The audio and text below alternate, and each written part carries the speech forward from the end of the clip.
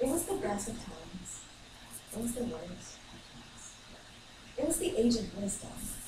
It was the age of patience. It was the epoch of belief. It was the epoch of patience. It was the season of light. It was the season of darkness. It was the spring of hope. It was the winter of despair. Today I'm standing before you all, using this quote A Tale of Two Cities to begin this eulogy in remembrance of my teenage years.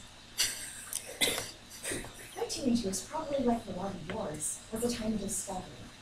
It was a time period when I laid the foundation of my life to figure out, first, where I want to be, second, what am I supposed to be doing, and most importantly, who am I actually? It was during this time that I made the decision that I want to step out of my comfort zone, leave my parents, my loved ones, my friends, and all the things I loved in China to go to a country that's thousands of miles away to pursue my academic goal in a second language. And this journey was filled with difficulties and bitterness. As I spoke before in North Carolina, it was the first time I discovered oh, there's something called discrimination. I was laughed at only because of my lack of ability in speaking English and also discriminated because of my color of my skin. And then I moved to Seattle. As I spoke before, it was a time period that I moved from one place to another. I never stayed in one place for more than a year. And more, more about that, it was a time period that in the city it rained, rained, rained, and rained. like God shed all of his tears upon one city. Well, maybe to cry for the insecure feeling that I had inside. This time period wasn't really healthy for a girl to develop her sense of belongings and security in a foreign country. But it was because of this journey through my teenage years that I was able to build my character.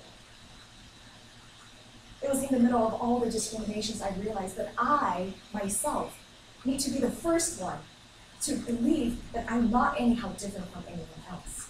I need to stand up, stand straight, and be confident when I defend myself, when I speak out in the second language to say that I'm not different from you all. And it was in the middle of all the rainy, rainy weathers and between family to family that I learned to love everyone around me because I'm not going to spend much time with them. And also to adjust myself according to the situation, to be flexible, to embrace changes. So now I'm able to stand on this beautiful ground, to embrace the sunshine, the ocean view, and all of you. And now I can say that thank you, teenage years, for teaching me so many valuable lessons. And so long, teenage years. Have a bright, big future ahead and rest in peace, my teenage years, for I will always keep the precious memories you brought to me and press on toward a bigger, wilder goal. So now, I invite you to close your eyes. Think about a moment year, highs and lows. And now listen to me. For the last time I speak, a little modified version of this tale of two cities. It was the winter of despair but it was the spring of hope. It was the season of darkness, but it was the season of light. It was the epoch of incredulity, but it was the epoch of belief. It was the age of foolishness, but it was also the age of wisdom. It was the best of times.